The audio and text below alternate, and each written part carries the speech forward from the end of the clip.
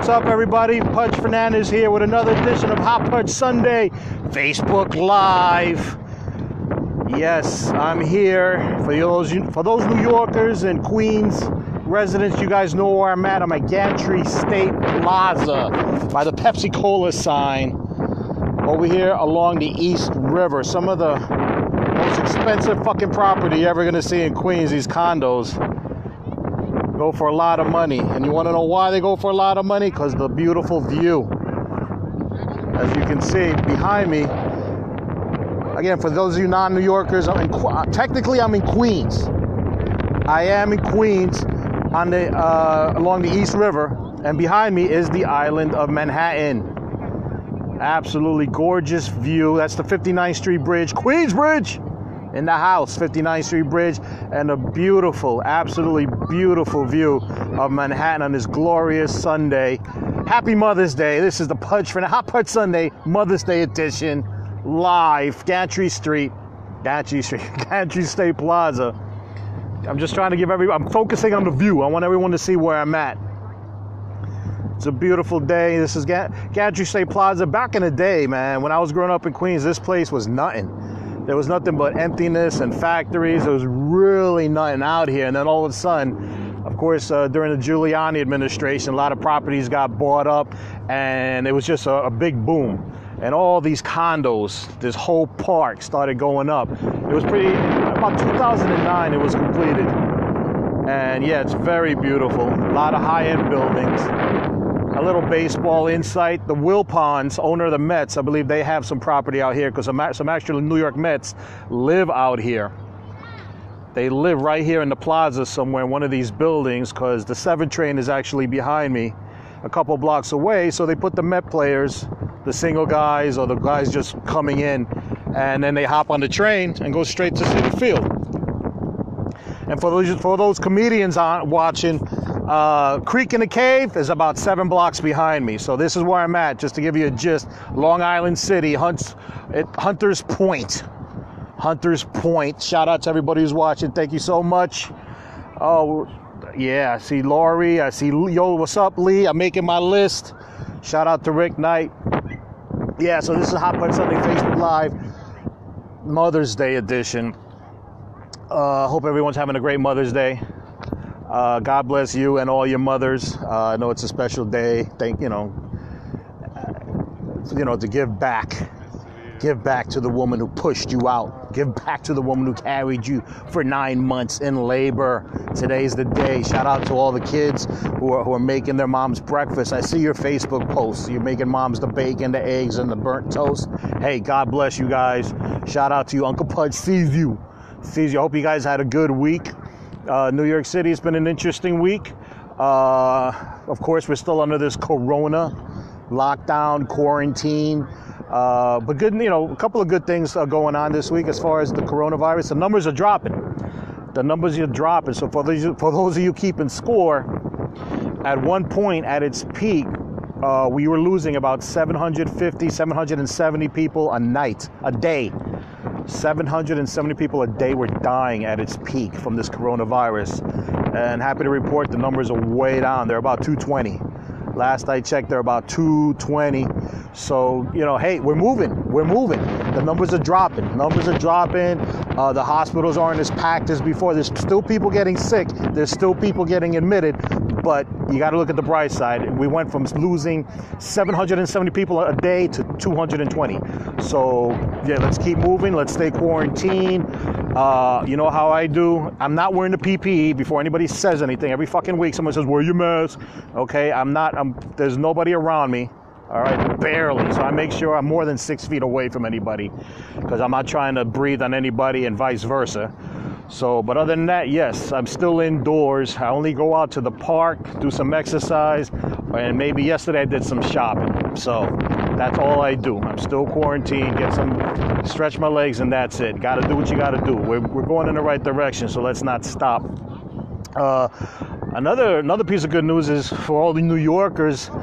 Uh, Governor Cuomo announced that he extended the no eviction status for all people renting in New York City. So initially, he It started on March 20th. Uh, it was a 90-day no eviction uh, status till June 20th, but now he extended to August 20th. So shout out to everybody who's not paying rent, who was supposed to get evicted and is not.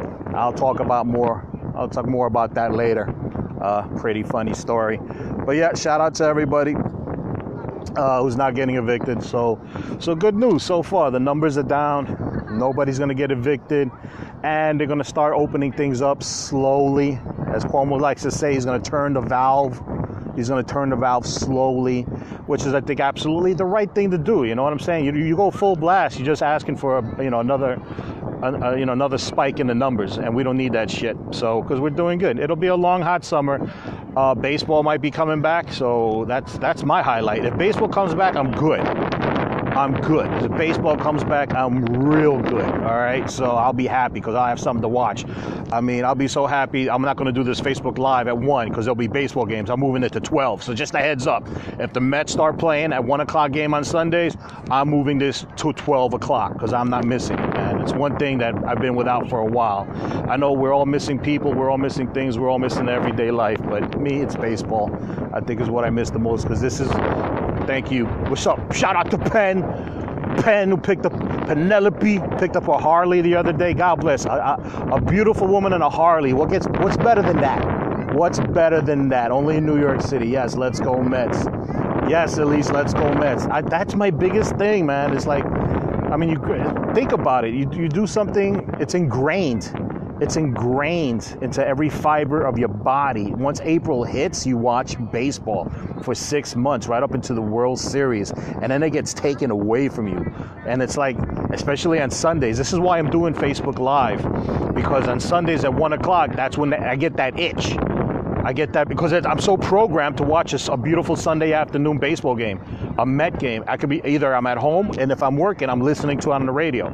So either way, I mean, it's just so ingrained. So I think it's one of the things I miss the most, and I can't wait till they come back. And, and when they do come back, it sounds like it's going to be like a really, really exciting season. It's going to be a half season, but it's going to be stupid excited, exciting because uh, I don't know if you guys saw, but the way they created the divisions, it's not going to be the norm uh, the same divisions as before. Now they're just going to make, I think so far, from what I hear, it's three divisions. Three East, Central, and West. And in the East will be the Mets, the Yankees, the Red Sox, the Nationals, the Phillies. Yeah, yeah, fucking nuts. Fucking nuts. Like, too excited. It's going to be nuts. It's going to be pounding and banging each other out. That's going to be a hot. That's going to be the hottest division, is the East, with the Mets, the Yankees, the Red Sox, the Nationals, the Phillies. Yeah, Joe Girardi and the Phillies. Yo, he's gonna be visiting the Mets and the Yankees. Holy shit! And then you got the the Tampa Bay Rays and the Marlins. Uh, we'll we'll kick their ass, no problem. But uh, but yeah, it's gonna be hot. I can't wait. So yeah, looking forward to the little things, baseball, the little things. Uh, so yeah, so far beautiful day. Happy Mother's Day. It's been a good week, mostly positive mostly positive. Uh, mostly positive. It's just, you know, of course, in life, there's always that, you know, negativity sometimes. And the thing that's been irking me the most, because uh, it's all over social media, you, you can't ignore it. I'm personally tired of it.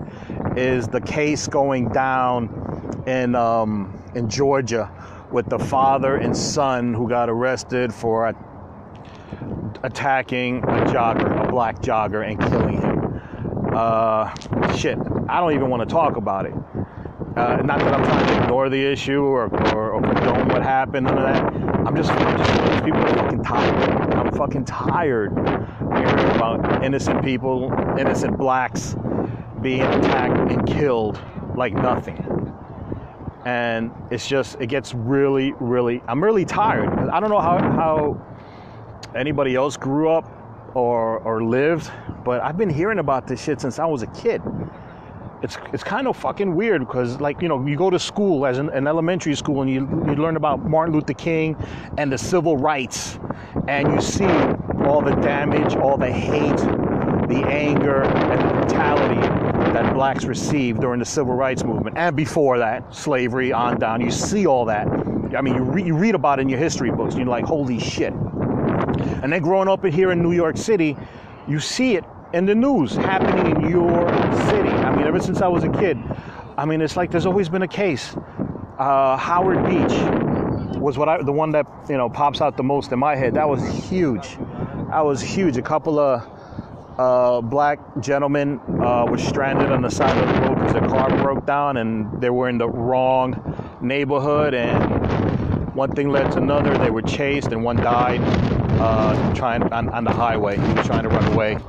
Uh, so yeah, and that that's just, that was that was my childhood. I think we were in, I think I was in junior high school or elementary school when that shit happened, and and to the and it still carries. It's still it's still going on here. No, and now here we are. 2021, 20, 2020. I'm in the I'm in my 40s and I'm still reading about that shit. And if it's not in New York, it's happening somewhere else. So I'm it's kind of tiring. I don't even want to, negative. I don't want to talk about it, but it's so out there. It's like this this is my two cents. I'm freaking tired of it. And it's like, what do we do? You know what I'm saying? It's like, and it's, and I feel like it's you know, when it comes to being racist, you're not born racist. You're raised. It's it's a social, it's a social disorder. It's like, it's almost like a religion. I almost feel like it's something they practice. You know what I'm saying? It's like a person. It's a weird personal religion that they practice, and it's, it's not. I don't know. It's, it's a social disease. I don't know how it's. I don't know when and if it's ever going to end. I don't know if the law is ever going to do anything about it. But obviously, it needs to stop. I don't know what are we going to do. But this this case in Georgia with the jogger, the black jogger, being attacked by the father and son because they thought he was stealing or burglarizing. I don't know it's a crock of shit. But uh, yeah, just it's just been on my mind all week because it's fucking unnerving, unnerving. Uh, now to some uh, friendlier news. Yes, Alex Geo, hookers. Yes, thank you. Good shout out. Shout out to Alex. Shout out to Alex. Thank you for lying to yes, hookers walking around the neighborhood back in the day. Yeah, like I said in the top of my segment, uh, Long Island City behind me was desolate, empty, factories. There really wasn't nothing here. But of course, Alex Geo remembers hookers. Thank you. Prostitutes, women of the night. Yeah, walking the streets. I remember back in the 80s and 90s. We used to ride around. I remember me and my friends, if we ever had a car, we we jump in the car, we'd ride around New York and, and fuck around with the hookers, yell at them and ask them for a discount, tell them it's our birthday, could we get a freebie? We did all that shit. I mean, that was just, you know, my time growing up in New York. But yeah, shout out to Alex bringing up the prostitution here in Queens, New York. Thank you. Thank you. And again, shout out to mothers for every all the mothers out there. I see you. I see you doing great things. I'm just you know, when it comes to Mother's Day every year, everybody is, you know, eh, eh, God, I don't mean to be down, but it's like, yeah, a lot of positivity, a lot of love. You got to be grateful. Got to be grateful to all your moms and all the jobs they did raising you guys and everything, and everybody's trying to give back. And it's all happy go lucky, you know, good shit, I guess, you know. But here's my, you know, here's my question: What if what if you had a shitty mom? I never hear anybody complain about you know having a shitty mom because it's impossible. I refuse to believe that every single person in the United States of America has an awesome mom. You know what I'm saying? Shout out to the good moms, yes, but what about the shitty moms? Okay, I'm just curious because like what do you do? What do these what do the, what do the people who had who had a shitty had a shitty life or, or were just given hell by the woman who, who gave birth to them? How fucked up is that? How fucked up is he, you know we're born and we're taught to love and respect the woman who gave birth to us, but then they turn out to be shitty. You know what I'm saying? And, and it's like, what do you do? What do you do if your mom is a narcissist? What if you do if your mom's a sociopath? a hypocrite that only cares about herself, who cares more about herself and her image than she does her kids. What do you do if your mom happens to be someone who who who lies and deceits and divides their family versus bringing them together? You know what I'm saying? It's like, what do you do? What do you do if your mom gives you an ultimatum? What if your mom gives you an ultimatum? Hey, hey, if you want to be, if you want to be in the in the inheritance, you have to divorce your wife. Yeah, yeah. What do you do? What do you do if your mom gives you an ultimatum? Hey, yeah, yeah, yeah. I'm gonna put. Yeah, you're gonna be in the inheritance. We're gonna we're gonna call the lawyer. Yeah, we gotta, we got to figure things out. You're gonna be in it, but first you got to divorce your wife. What do you do about that? Uh, a mom who gave birth to you, but ends up hating your wife. What do you do with that on a Mother's Day? How do you take that in? How do you take that in? I mean, again, shout out to all the good mothers. I see you. Uncle Pudge sees you. Uncle Pudge sees the good mothers. Uncle Pudge sees the love. I see the love every day, all year round, not just Mother's Day. But what do you do if you have a shitty mom? what do you have? What do you do if you have a shitty mom who wants to, who wants to wants you kick you out of kick you out of wait, kick you out of the house? Not the not a nice way, because you know you happen to be living there with your kids, and I don't know, so you know there may have been a marital uh, issue, you know, with with the son and his wife, but she comes back home and she moves back in to help, you know, with the kids and be a family again. But mom interferes and say, "Hey, get the fuck out." What do you do? How do you treat a mother who wants to evict her son and grandkids because she doesn't like the mother who happened to have cancer? At the same time. Yeah. Yeah, go, how do you do that? That is like a question. How does a person celebrate Mother's Day knowing that your granddaughter has an illness, your son's wife has cancer, but you're going to evict them and take them to court? How do you celebrate Mother's Day? I'm just I'm just throwing this out there. I don't this is just popping my head. This is just popping. I don't know where this is coming from. I'm just making talk.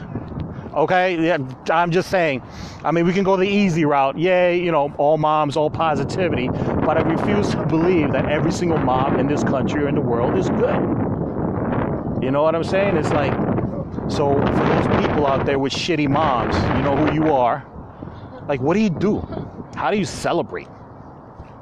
How do you celebrate? I mean, it's got to be a tough day. It's got to be a real tough day for those, you know, who don't know, who don't just don't know what to do. I mean, you see the whole world celebrating. You see the whole world taking their moms out. You, you know what I'm saying? And then you're like, what, what the fuck? Now, me personally speaking, I had a pre Mother's Day event yesterday, so I had a pre- I had a good weekend. I had my uh, it was my wife, my mother-in-law, and my sister-in-law over. We had a nice dinner so you know, so we had a cool, you know, my wifey works today, so we can't, we couldn't go out to do anything today, but we had a nice meal. All the kids, all the grandkids were there. We had a good time. It was good. It was a big relief, you know, under these corona conditions. So we had a great time. But here it is today's Mother's Day, and it's just, I don't know. It's kind of rough. You know, the brain starts working. This is you know what I'm saying? So, so again, my question is, what do you do if you have a shitty mom? I need some answers. I don't know. I don't know. I used to drink. I used to drink a lot. I used to drink a lot. Uh, that was my go-to personally, but uh, of course that turned into a, a very bad addiction. So, uh, and I'm three three years three years clean. So I got you know therapy, and I checked into uh, outpatient rehab at the VA. So God bless the VA and everyone who supported me. But yeah, drugs and alcohol. If some of you guys, I know you guys go there because I went there. Don't, you know what I'm saying? But there's got to be another therapeutic way to handle this. I mean, what do you do if you again? What if you do if you have a shitty mom who turns your siblings against you? Like one day to the next, it's like one minute. It's like it's like Thanos Snap a finger, boom, you're out of the family. Do you still celebrate Mother's Day? I don't know. These are just thoughts pondering my mind. This is just thoughts. These are just thoughts. Some of you, okay, you guys get it. I think some of you guys get it. You guys know where I'm coming from. More, more of this shit's gonna come out in the near future when it when it feels right. Today, being Mother's Day, felt. Wait till Father's Day comes around. Holy shit, that's gonna be an episode. so yeah, this is my Mother's Day. Wait till Father's Day episode comes back comes out. Yeah, that's gonna be another personal episode. Yeah, people want to know if comedians are fucked up in the head and why they're so depressed or have these issues. Well, most of the time, not first of all, not all comedians are messed up, but many of them are, and this is why. It's usually some kind of post-traumatic stress from some kind of a childhood drama or or whatever, or the shitty moms. I don't know. It sounds corny, it sounds whack, but but hey, what's up, Penelope? Penelope, she was the first cut, and all the other toxic people are easy to remove from my life. Wow, thank you. Shout out to Pen. Pen, she uh, mom was the first cut. Yeah, that's where we're at. I mean, for those of you who haven't figured, um, what I was talking about before was relating to me. But um, yeah, being the first cut, basically, um, yeah, actually, it's funny. I made the first cut a couple of years ago. I actually fired my mom. Uh, I told her she's fired. I literally straight up fired my mom. Uh, not for her actions towards me, but because I got over that. Actually, it was through therapy and, and quit drinking, I understood. And that's the big thing. You got to go to therapy. You got to figure things out. You got to get help and understand the situation. And thank God for therapy. I was able to do that. And I was able to understand my mother. I was able to understand where she came from and understand myself and, and, and come to almost a conclusion, almost a closure. A closure. And it really helped me a lot. And I thought I was moving forward here's the problem. The reason because all that bullshit that was, you know, she gave me before, she was now giving to my kids, especially my daughter. Pudge don't play that. All right, when it comes to my kids, you don't fuck around. So, and she, and I think all mothers, being a mothers, that you guys can relate. All right, when it comes to my wife and I, uh, a lot of people know my wife. Hey, we've been together, we've been married, we've been separated, we've been on the verge of divorce, we've been at each other's throats, uh, we've hated each other, we've been through a lot. But when it comes to our children, we are united. We've always been united, and we've always been bear lions and bears. All right, I'm the lion, she's a bear, and we will kill, maul, maim, attack, dismantle anything or anybody our kids. That's how we are because we love our kids. So again, you know, marriage has been shitty in the past. We're cool now. We're cool now. But when it came to parenting, we were always united on that front. And to go back, get back to my point, the shit that was happening to me that I was over with and moved on past was now hitting my kids, especially my daughter. So I fired my mom about two years ago. I basically said, You're fired. You're not a mother, and you sure as hell not a fucking grandmother. So that's that's where it went. So yeah, and I'm pretty sure that started.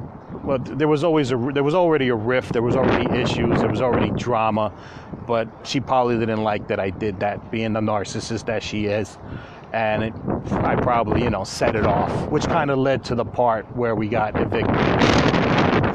Like Penny said, shout out to my girl Penny in Jersey with the Harley now. Yeah, you got to make cuts. You got to cut toxic people no matter who they are. Some of them are friends, some of them are family. You got to do what you got to do. You have to cut, and we can't wait to cut. It just so happens uh, we're supposed to be uh, evicted. Oh, getting back to the eviction hilarious. So we get, first of all, when they told us to leave, I proposed to sit down and talk things out and conversate. Yeah, they had a few, they had, you know, we had issues and they had, they had a few good points. They had a reason to be mad. You know, they had a reason to be mad, but I thought, you know, hey, I don't know. We're family. We're supposed to communicate and talk things out, you know, reasonably, like adults. But no, they just fuck it, got the lawyer, started the payer, the paperwork, got my daughter's name. I mean, how the fuck do you drag my daughter into court? Why? It's fucking ridiculous. She doesn't even be going through this shit. So they just started the process with all the paperwork and shit. And we started going through court. And meanwhile, my my wife is battling her. She had thyroid cancer last year, so she's going through the cancer, and I'm going to eviction court.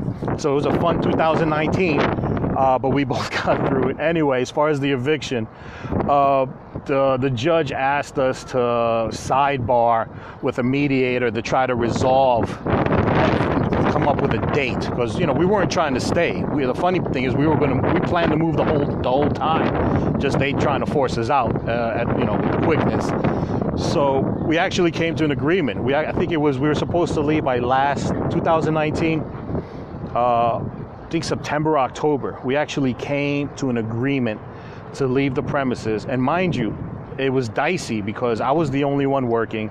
Wifey was recovering and looking for a job. So it was pretty dicey for me to commit to leave by September, October. But we wanted to get the, we get the hell out of there and move on with our lives. So I agreed to September, October. I only asked for just one little stipulation, just one little stipulation. I just one request, and that was moving money. I requested for moving money. I said, hey, she's not working. I'm the only one working. Hey, we're ready to get out of here. You know, we don't want to be where we're not wanted. Not, not, and not now that we're back together as a family. We need a bigger place naturally.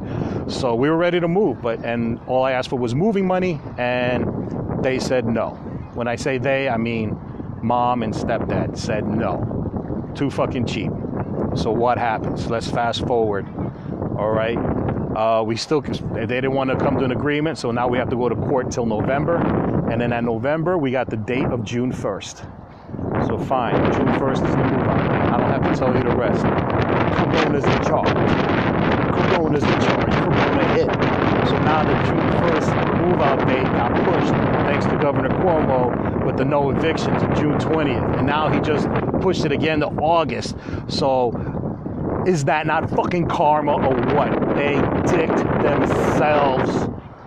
Yes, mom and dad dicked themselves. They could have had me out. They could have had all of us out. We agreed that we could have been out last year, but because of their greed, because of their selfishness, because of their hate, because of their failure to communicate, failure to, uh, to, to act properly, and these are these are adults.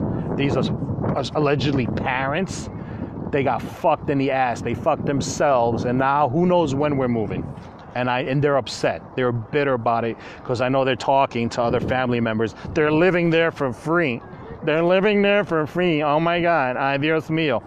We didn't ask for this shit. We could have been out last year, but you guys are too fucking cheap. You want to pay for a lawyer. You want to pay the fees. You want to pay for a lawyer. You didn't want to give us moving money under the condition. I'm working, she's not. She's recovering from cancer, and you want us out so badly. It was just a couple of thousand dollars to help us move. That's it.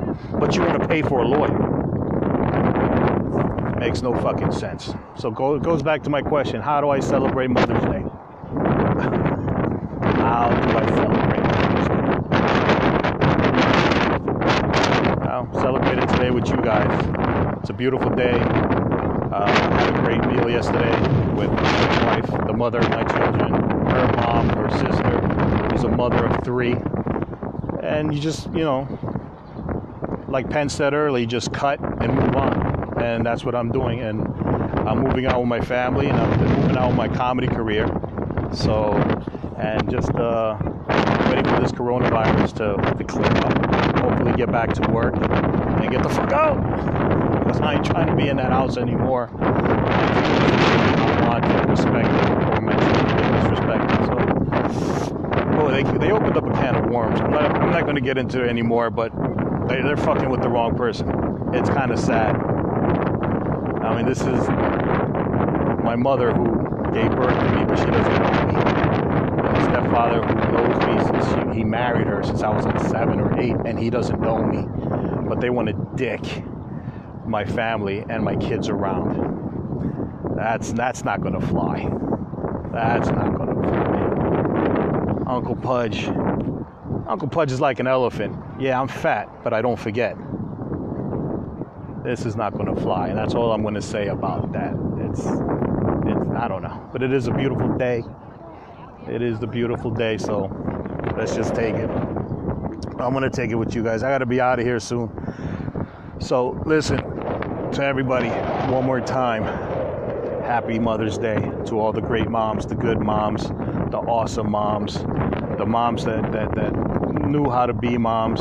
And yeah, nobody's perfect, they all make mistakes, but I feel like at least the good moms will acknowledge it. The good moms would apologize. The good moms would communicate. Because as long as you can be a bad mom, it happens. Nobody's problem. I was I'm a dad. I fucked up a lot.